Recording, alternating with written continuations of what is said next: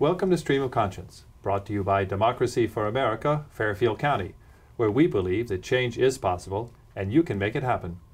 I'm your host, John Hartwell. Our guest today is Sarah Darer Littman, an award winning columnist for the Connecticut News Junkie. And she's also an author of four books for teens.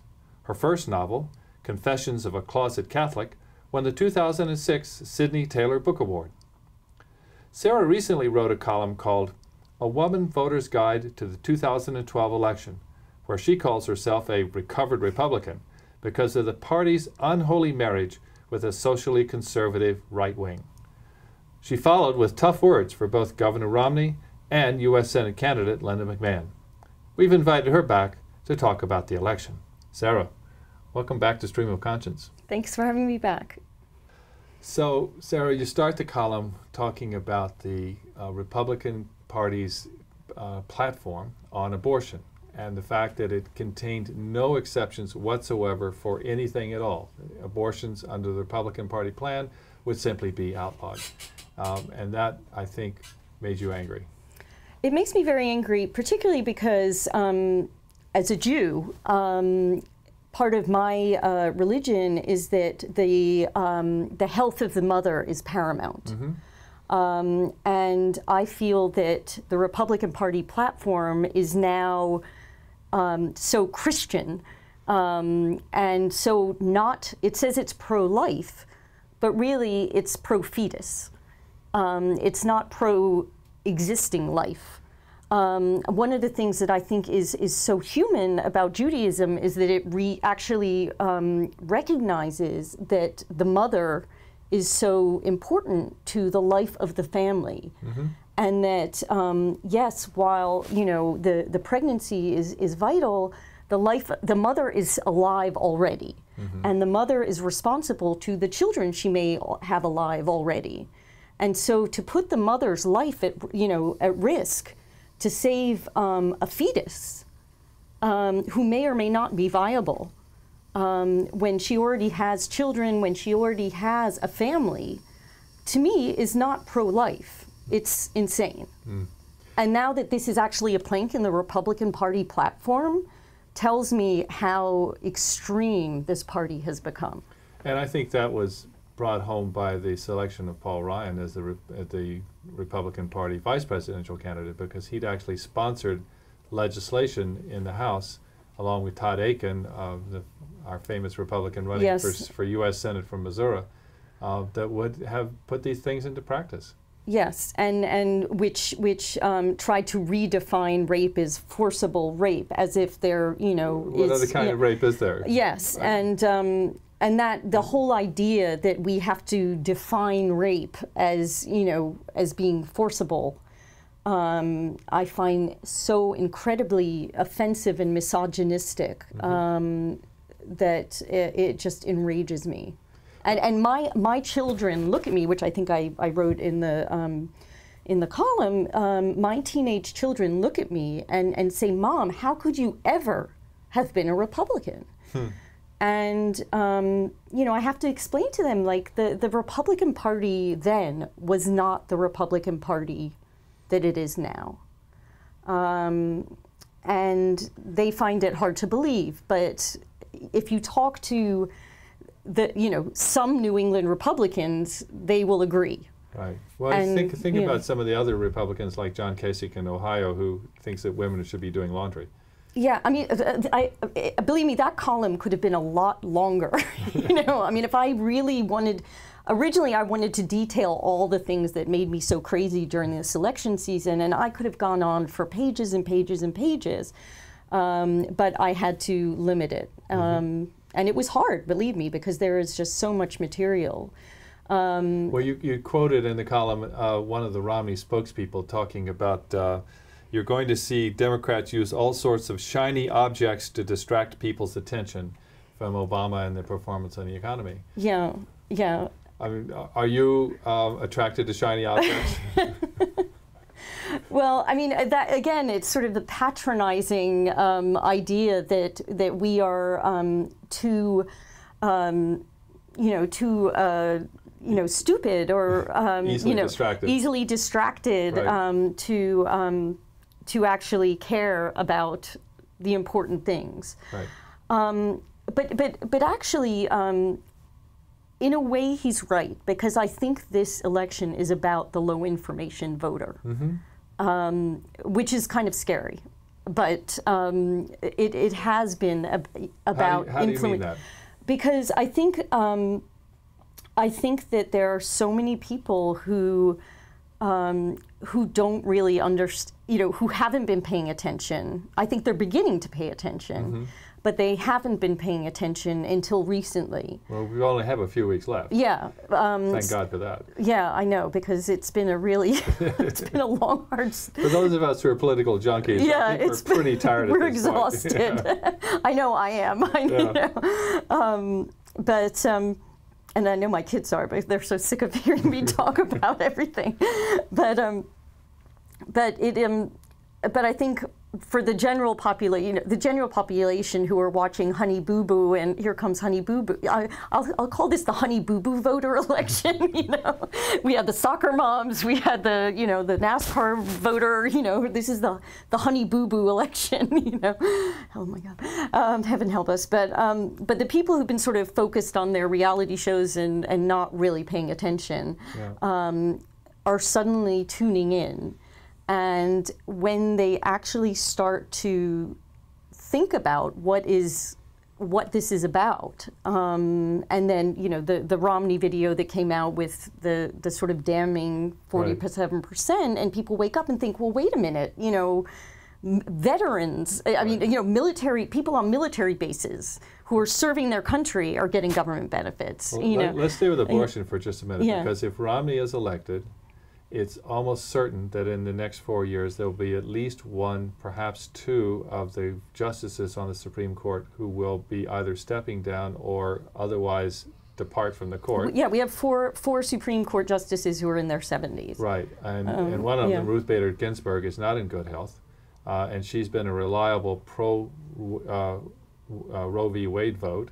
And, and he said on Meet the Press that he would, um, you know, he would uh, uh, appoint someone who would be likely to overturn Roe v. Right. Wade. It's a Um, litmus test for him. yeah, and his in his view Roe v. Wade was wrong, and right now there's a there's been a five to four majority for Roe on the court, but if if uh, if we lose any one of the four liberal justices, then that'll go away, yeah, and if we lost two of them in this term. The way they're appointing justices younger and younger, they could be there for 30 years. yeah. And it, and that to me is is terrifying. Yeah. Um, that you know that my daughter could grow up in a country where um, where there's where abortion is illegal again. So let's talk about the 47% because to me, that video um, encapsulated the argument that the Obama people were making during the summer, which is that Romney is basically out of touch.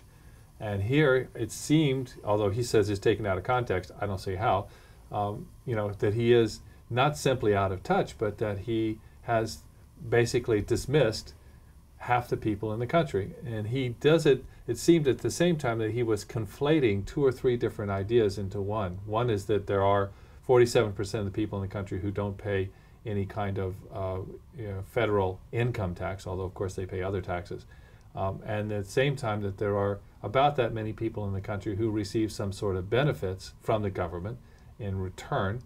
Um, and he's putting those two together and thinking that they're the same people and that therefore they're government dependent and that they like to be seen as victims. Yeah, and that they're whiny and they're Well, you know yes. they're they're you know yeah the victims. Yeah. Um, and um, and interestingly, Linda McMahon in her um, her speech when she declared as a candidate also used that forty seven percent figure. Right.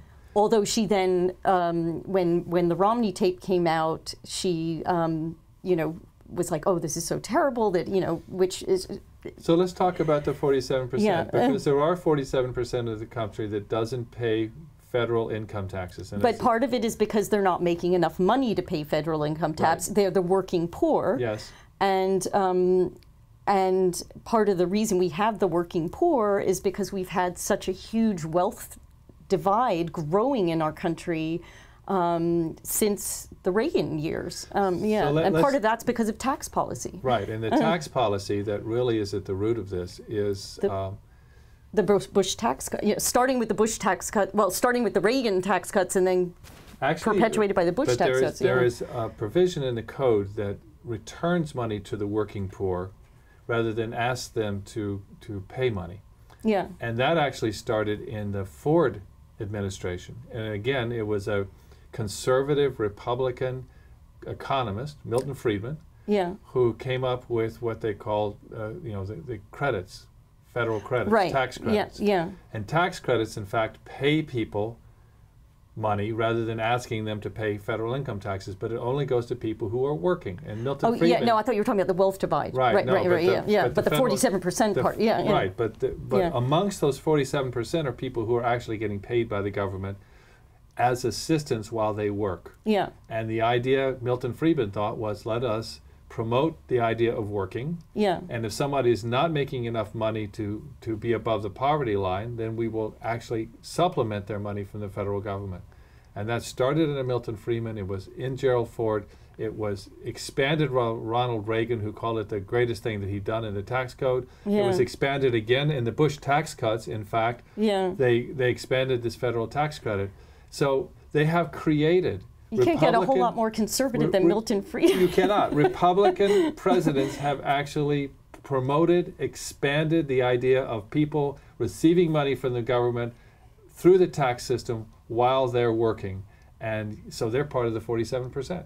yeah, Who else is in the 47%? I think there are lots of, I, I think yeah, that yeah. Retirees. uh, Retirees, yeah, yeah. right. Retirees. Um, people. Uh, some of them are, um, you know, people in military. Ser- you know, serving on military, Yeah. uh, serving overseas in the military. That's right. Um, you know. we don't Uh, ask them to pay federal income taxes when they're they're putting themselves in harm way, harm's way. Um, exactly. yeah, and um, so. uh, and, and those are people who are more likely to be supporting Romney to begin with. So they- I don't see them as victims. yeah. And I don't see them as, uh, they are dependent on the government, but not in the same way that he's talking about. He, he thinks it is because of entitlements. yeah. And is, in that case, it's because of their service.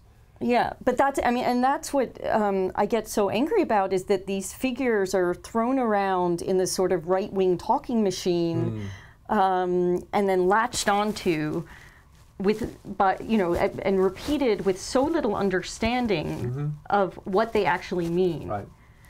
and I- then and then the sort of honey boo boo voter will say oh but the you know but the, the 47% of people don't pay taxes Right. not really understanding And, and What they mean. And, and what you just said there, don't pay taxes. And yet, yeah it's really federal income taxes. So if they're working, they're paying payroll tax. Yeah If they drive a car, they're paying gasoline tax. If they're buying things in the store, they're paying sales tax. If they live in a house, whether they own it or not, they're either directly or indirectly paying property taxes. Uh, it- the list goes on and on. We Yeah. have taxes all throughout our system, and yet the, the mantra has become 47% don't pay taxes. Yeah, It's just and we're supporting those those Right. moochers. Yeah, Moochers, right? Yeah.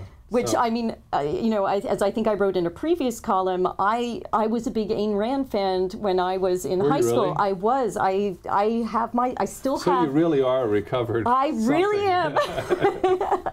I can raise my hand. And I still have my dog-eared copy of the Atlas Shrugged on my bookshelf. Yeah.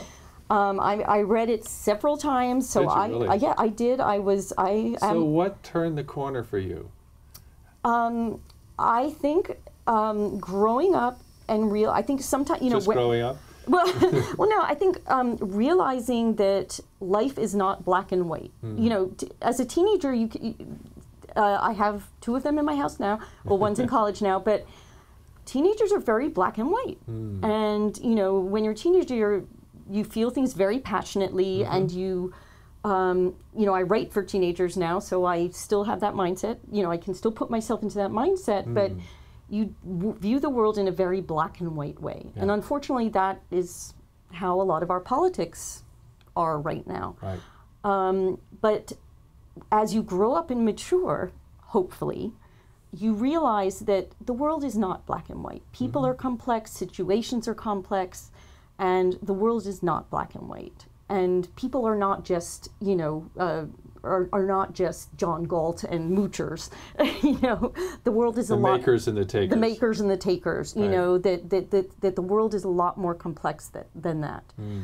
And um, and you know, I I when I worked on Wall Street, I saw people who were wonderful people, and I saw people who were total slime bags. Mm. And um, you know, and it it influenced me a great deal. Yeah. So speaking of Wall Street, um, in this column you also talk about the stock market, and um, you know everybody. Again, the Republican talking point is that the economy is in the tank, that Obama has done a terrible job, that we've had no recovery whatsoever, that the stimulus didn't work, and that uh, Romney is a job creator, and so therefore vote for Romney.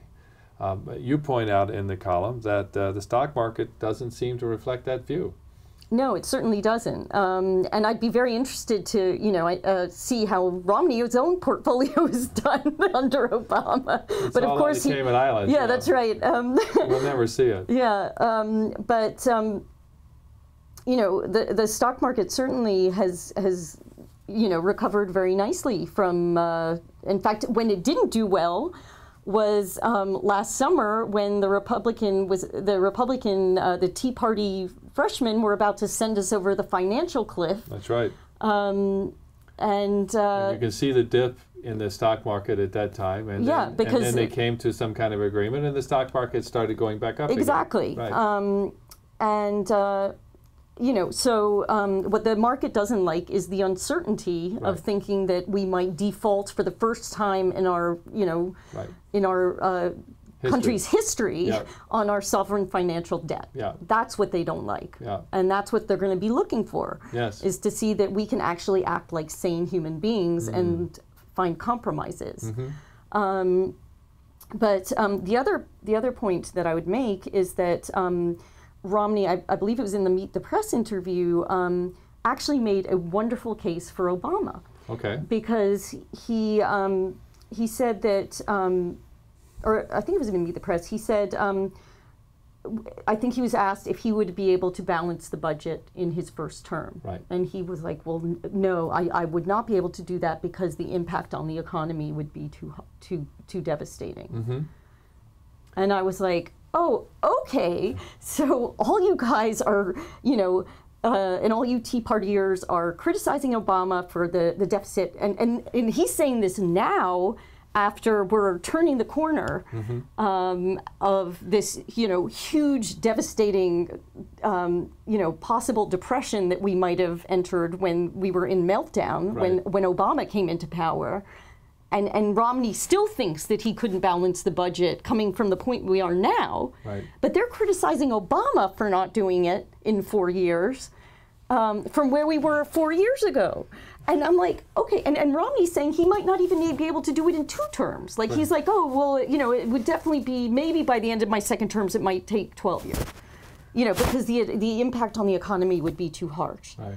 And I'm like, you have just made the best case for reelecting Obama.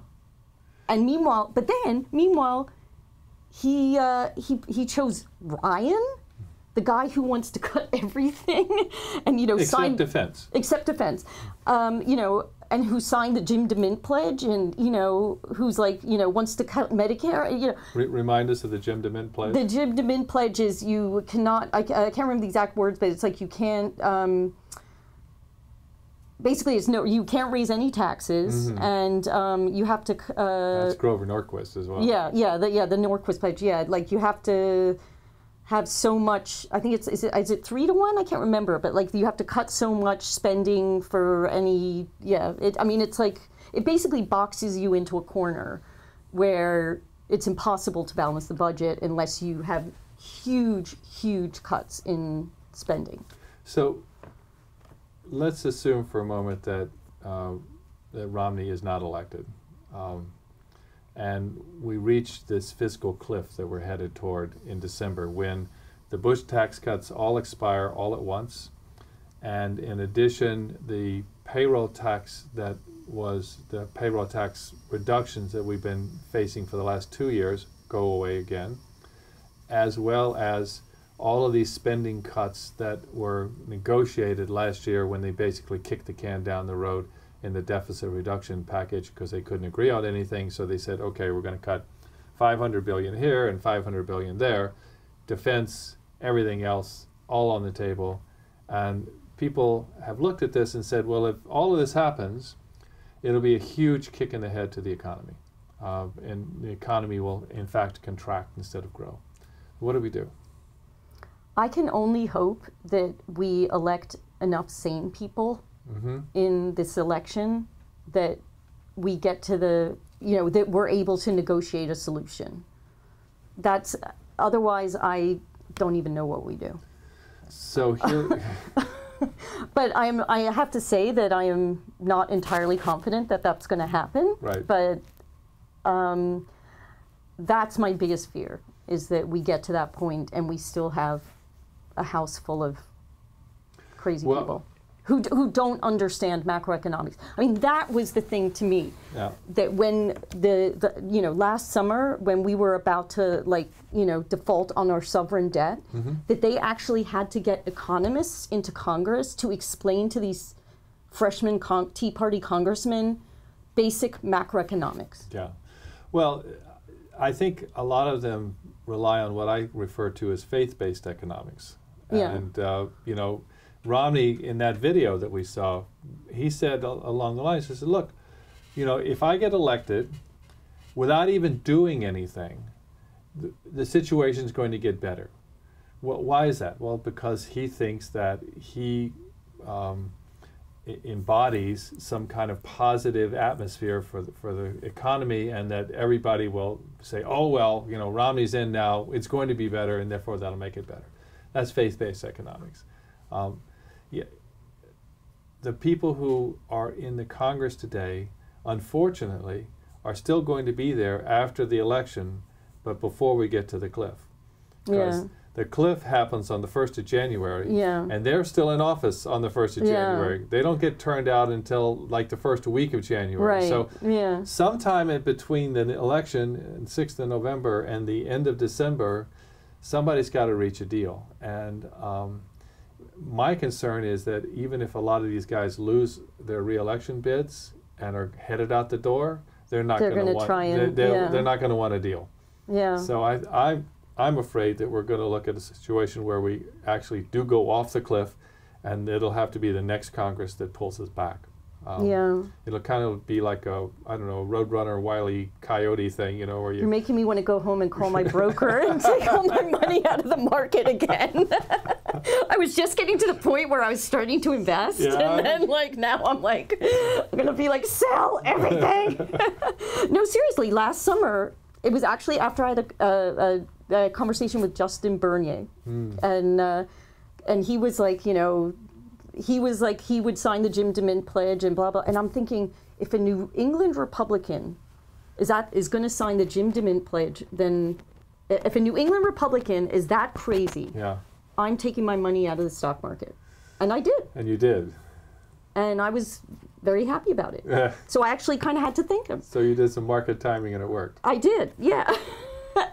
and uh, you know, I missed a little bit of the run up recently, uh-huh. you know, but like uh, now I'm kind of like, okay, I'm you know, I'm feeling a little better about life, whatever, I'll start, you know, and, and now I'm kind of like, uh oh.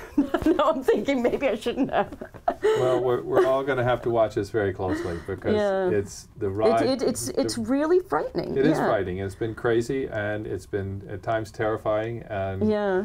I, I, see a little bit of light at the end of the tunnel, I uh, but you know, November 6th can't come fast enough for it me. It really can't. Yeah, it cannot. It's just stomach, stomach churning. Well, Sarah, thank you so much for coming in. That was my pleasure. And uh, Anytime. We'll keep reading you in Connecticut News Junkie and look for your next teenage novel. Thank you. That's our show for this week. We hope you enjoyed it. You can find all our shows on YouTube by going to YouTube slash user slash DFATVNet.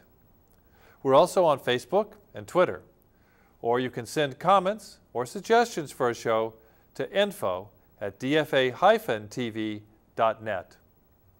If you'd like to learn more about progressive political action, we meet at 7 p.m. on the first Wednesday of the month at the Silver Star Diner in Norwalk. We'd love to have you join us. Remember, change is possible, and you can make it happen. This has been Stream of Conscience, and I'm your host, John Hartwell. Thanks for watching.